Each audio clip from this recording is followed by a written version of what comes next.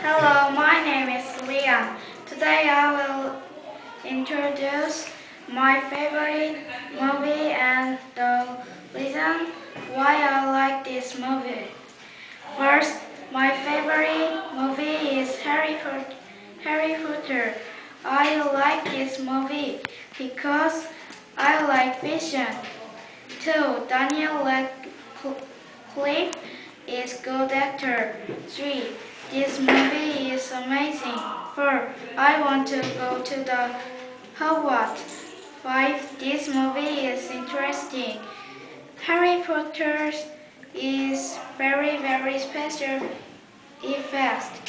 Harry Potter was cast five movies. This movie character is Harry Potter, Harry Potter and. Like Harry Potter. The story is about Harry Potter and his friend using magic to stop the bad person. That is why Harry Potter is my favorite movie.